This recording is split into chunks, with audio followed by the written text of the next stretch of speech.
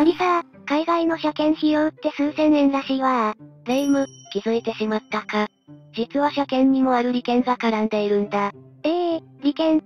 さらに、最近話題になっている不正車検は、ビッグモーターだけじゃなく、実は業界全体にはびこっているんだ。なんでこんなことになっているのかしら？じゃあ今日は、不正車検の実態や、業界の利権の闇について、ゆっくり解説していくぜ。それじゃあ、ゆっくりしていってね。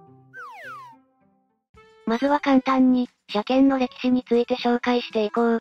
そういえば車検っていつから始まったのかしら？日本で車検制度が始まったのは、明治時代、1903年のこと。愛知県が、乗り合い自動車営業取締規則、というものを交付したのがきっかけだぜ。当時、蒸気自動車を乗り合い自動車として扱う事業があって、それを取り締まる目的で制定されたんだ。現在の車検とは、ちょっと雰囲気が違うわね。同年、自動車取締規則が制定されたのは、自動車を使った運送量が、各地でスタートしたからだぜ。ただ、この頃はあくまで営業用や乗り合い用に限り、一般の自家用車に対しては、特に検査義務はなかったんだ。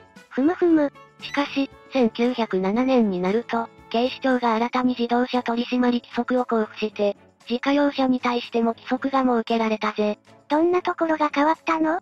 取締りをしやすくするために、車体番号の記載を義務付けたりしたんだ。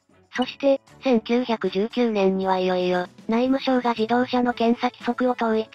戦後の1947年には、現在のように、車体の検査、整備、登録が、義務付けられるようになったんだぜ。だんだん制度が整ってきたわ。そして、現在の車検制度が、適用されたのは1951年のこと。この頃ちょうど、日本では自動車を保有する人が急激に増加していて、制度の制定を急ぐ必要があったんだ。その後、1955年には、自賠責保険の加入が義務化され、車検の際に更新という、今の形に落ち着いたぜ。ああ、あれね結構出費が痛いのよね。この1955年の法改正時に、車両性能の向上や、道路網の改良が考慮されて、点検箇所が102項目から60項目まで、大きく減らされたんだ。それによって、ディーラーや整備工場以外の場所でも、車検を行えるようになったぜ。今やいろんな会社が車検をやってるものね。ガソリンスタンドなんかでもできるし。そして、その後も、現在まで59回の改正が行われ、自動車の進化とともに、その検査項目も変わってきたんだ。なるほど、車検も時代とともに移り変わってるわけね。そもそも、車検ってどんなものなのかも、一応簡単に紹介しておこう。お願いするわ。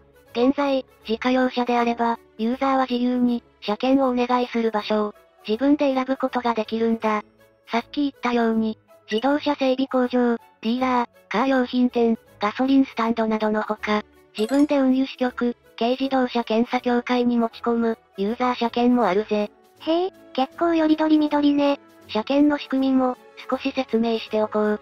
車検の項目には大きく分けて、法定費用と整備費用の2種類が存在するんだ。法定費用は全国一律料金で、その中身は、自動車重量税と自賠責保険料、それに印紙代。印紙代は、車検事務やステッカー発行などを、手数料として国へ納めるためのものだぜ。え、車検って、国に手数料を取られてるのね。そして、もう一つは、整備費用といって、各社それぞれ料金が変わってくる部分だな。一応、法令上車検をクリアするためには、56箇所の法定点検が、義務付けられているんだけど、プラスアルファでそれ以上チェックするかは、ユーザーやお店の方針にもよるんだ。そうなの？次回車検まで、より安全に乗るために、念入りに点検することもできるし、最低限の法定点検だけクリアして、費用を抑えたいという人もいるんだぜ。なるほど。例えば軽自動車の場合、車検の基本料金がだいたい7000円だったとして、それとは別途、約1万2000円程度から、検査料がかかってくる。そこに、法定費用が約2万5000円ほど加算されて、4万5000円程度は、最低限かかるというわけだ。その法定費用ってやつが、結構圧迫してるのね。法定費用は、車種にもよるが、軽自動車で3万円前後。普通自動車で、車両重量によって、2万円台から8万円台程度と考えておくといいぜ。普通自動車の場合、結構幅があるみたいだわ。ちなみに、ディーラーの車検は高いって聞いたことあるけど？お店にもよるけど、大体相場として、例えば小型乗用車だったら、ディーラーが9万円程度、カー用品店が6万円程度、整備工場が6から7万円程度、ガソリンスタンドが5万5千円程度ってパターンが多いようだな。ガソリンスタンドだけやけに安くない大丈夫なの？一応、車検を行うためには、国から認定された整備工場を持つことが、義務付けられているから、工場を併設しているガソリンスタンドであれば、問題なく車検を任せられるはずだぜ。ただやはり、ガソリンスタンドでは、車検を通すのに最低限の点検と整備を行うから、修理、部品交換に対応してないケースもあるんだ。え、そうなの？そうなると、結局ディーラーや整備工場に修理を頼むことになるから、二度手間になるってわけなんだ。それに、ガソリンスタンドでは、数日間以上検査に時間がかかる場合もある。一方、ディーラーや整備工場であれば、早いところで、数時間から半日程度で済ませてくれる業者が多いぜ。料金なりに、メリットはあるということね。車の状態が良好な時はガソリンスタンド、怪しい時はディーラーや整備工場っていう風に、状況によって賢く使い分けるユーザーも多いみたいだな。確かにその使い分けは良さそう。ところが、そんな整備業界で、最近は不正が頻発しているんだ。も、もしかして、最近話題の、そう。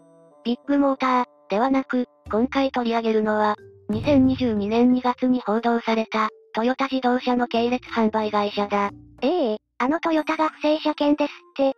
交通捜査課によると、この販売会社の整備員10名が、2018年12月から2021年1月の間、愛知県のプラザ豊橋店に持ち込まれた車で、法定点検や整備、検査を正しく行わず、虚偽の保安基準適合証を作成していたことが分かったんだ。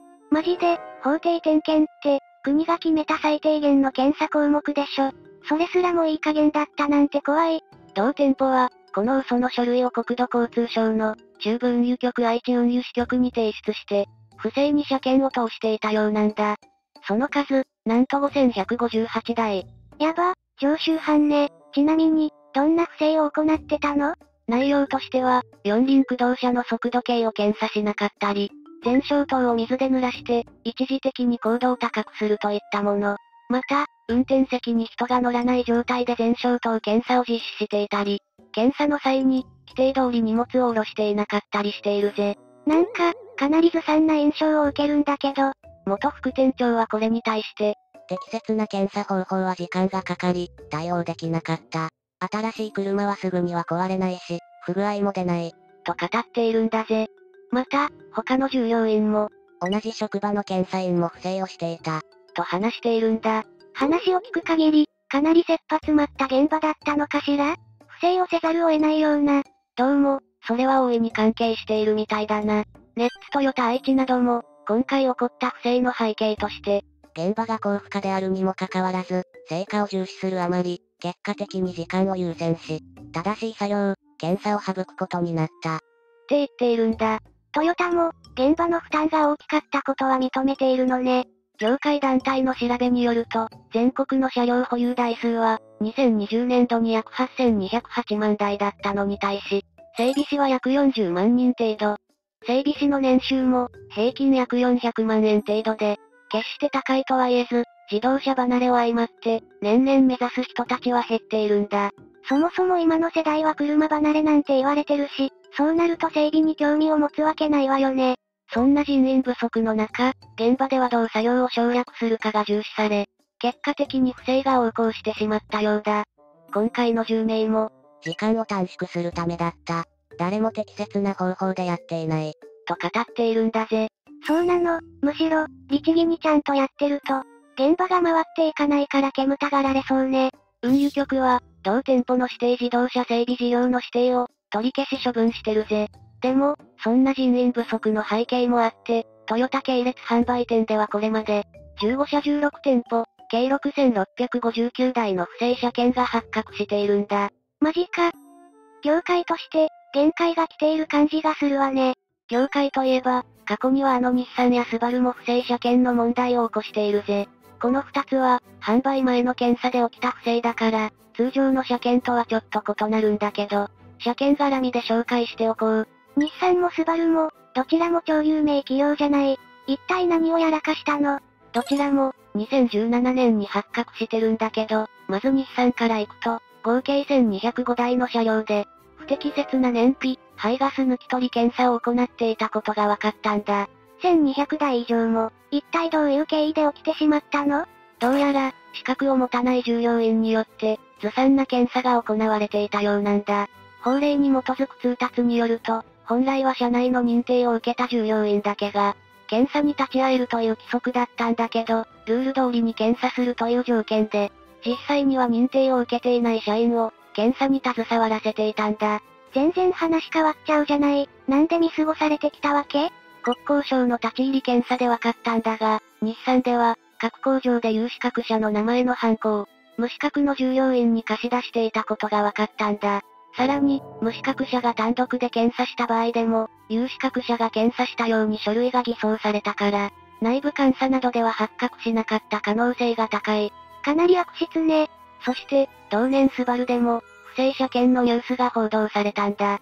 こっちも気になる。スバルの場合も、完成車検と呼ばれる工程で、不正が見つかったんだ。完成車検完成車検というのは、自動車工場で完成した車を、出荷する前に保安基準に適しているか、安全性に問題がないかなど、自動車メーカー自身が検査するものだぜ。なるほど、最終点検みたいな感じね。自動車メーカーの場合、国が独自に定めた内容のほか、各社それぞれ、追加の検査項目を作っているんだ。スバルの場合は、それが2000項目にも及ぶんだぜ。そんなにあるの？一つの検査ラインに、10以上の工程があって、常時30から40名の作業員が検査を実施しているんだ。1台20から30分ほどの点検を、一つの生産ラインあたり、1日約900台こなす必要があったみたいだぜ。1日900台ですって、そんな無茶な。到底、人員不足に陥り、完成検査員以外も検査に従事する状況が生まれてしまったようだな。しかも、完成検査は資格のあるものしか行ってはならないという規則があるにもかかわらず、スバルの社内規定では、資格のない社員に現場を経験させる、とも言っているんだ。その時点で、矛盾が生じるわね。こういった不正の横行には、どうやら組織的な闇が隠されているようだな。どんなどんな自動車メーカーから見れば、完成工場での検査は、ワイパーを作動させたりだとか、正直、覚えれば誰にでもできるような、簡単な作業が多いようなんだ。そうなの？てっきり、資格がいるくらいだから、高度なスキルが必要とされているのかと。簡単なら、無資格従業員がやってもいいんじゃない？しかし、それを認めてしまうと、困るのは国なんだ。完成車検も、結局は通常の車検の保安基準をもとに、車検と同じ作業を、自動車工場の最終検査工程で行っているだけだから、その完成車検の制度を否定してしまうと、車検の存在が危ういものになってしまう。なるほど。権威性を保てないってことか。でも、車検の存在が危うくなると、国にどんなデメリットがあるわけ？現在車検は、初回が新車登録から3年間、その後が2年間置きというスパンで行われている。しかし、近年自動車の EV 化が進んで、車の部品数が減っていることなども踏まえて、車検の間隔をもっと長くしてもいいのでは、という声も上がっているんだ。言われてみれば確かに。EV 車って、部品数が少ないのよね。ってことは、点検する箇所も少ないはずだわ。そう。でも、現在の車検市場は、日本自動車整備振興会連合会によると、2020年の総整備売上高で、5兆5510億円とのことなんだ。整備年数を例えば倍の4年間に増やすと、単純計算売上高が半分になってしまうだろ。せっかくの5兆円産業がまさに、今の2年間というスパンは、自動車整備業界の保護という目的も、大きいわけなんだ。うん。それによって2年おきにお財布が泣いてる、庶民の私としては、とっても複雑な気分よ。さらに車検には、国の利権も絡んでいるんだ。利権日本の車検が高いのは、車検そのものの値段よりも、法定費用の負担が大きい。自動車重量税、自賠責保険、飲酒代、これら3点セットだな。さっき言ってた、全国一律のやつよね。これは国が決めてる料金だから、販売店によって差別化できない部分だわ。そう。例えばだけど、重量税の支払いに使う印紙。これ一つ取ってみても、販売しているのは、各都道府県の整備振興会という団体で、全国民の車検時の印紙代が収益になってるわけなんだ。ええー、何それ、知らなかった。さらに、指定工場で車検を受けた際に発行される、保安基準適合証。これも、整備振興会の収益になっているんだぜ。なんか、巻き上げられてる予感。でも、手続きには人件費が発生するわけだし、当然といえば当然かしら？だが、実質競合他社なども存在しないから、価格競争も生まれない。価格は団体のいいねになっているのが実際のところだと言われているぜ。とある整備事業者によると、大きな振興会の場合、保適証などの販売だけで、どうやら年間数億円もの売り上げになっているらしい。それって、項目に明記されているの？項目には記載されていないけど、私たちの車検料金に含まれているみたいだぜ。なんか悔しいわ、車検という、車保有者が不可避な制度を利用して、国民からお金を巻き上げてるような気がしちゃう。今後、業界は一体どうなっていくのかしら？前述のように、おそらく国や車検を取り扱う会社は、短期的なスパンで車検を継続したいと考えているだろう。そりゃそうよね、儲かるもの。だがしかし、そうもいかない現実があるんだ。そうなの？一番の理由としては、まず何よりも整備士の人手不足。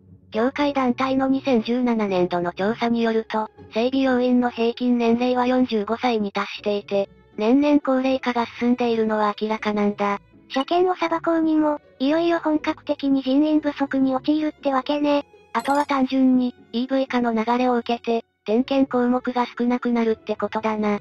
アメリカでは、2015年時点で、300億ドルあった自動車整備業界の収入が、30年には52%、40年には76%減少するという見通しが立てられているんだが、日本も基本的な流れは同じだぜ。そっか。今は過渡期だから人手不足に悩まされているわけだけど、業界の縮小自体も懸念されているわけね。実際に、検査項目は少しずつだが、年々簡略化されつつあるんだ。2017年での法改正では、はみ出しタイヤ OK になったりして、緩和されていく傾向にある。不要な点検項目はなくしてほしいけど、その分しっかり点検してほしいわ。私たちユーザーも、業者選びなど気をつける必要がありそうだな。みんなは不正車検についてどう思う？コメント欄で教えてね。チャンネル登録も動画を作る励みになるぜ。それでは、ご視聴ありがとうございました。